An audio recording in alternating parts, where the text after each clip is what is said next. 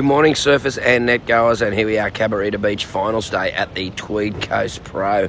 And uh, yeah, a couple of waves around, but wow, it's looking a little bit average this morning. But tell you what, these surfers will really rip in. Winds are from the west to northwest early. They're going to go northwest and up to about 15 to 20 knots later in the day. 8:30 is the high tide. Low tide around 2:30 this afternoon, and the water temperature at about 20 degrees. Look, we're going to go for a wave. Spits out the surface. Tweed Coast back beaches. That'll give you your best quality. Beaches right along the coast will be a bit there. the Tweed Coast back beaches probably give you a bit cleaner, but not that much swell. So uh, yeah, it's looking average. It's almost mattress surfing under the doona, but you get a couple of grovelers if you are keen. Um, yeah, it looks like uh, maybe a bit of a change coming through on the weekend and a bit more swell then. But at the moment, yeah, it's not really enthusing me that much. I'll catch you in the waves.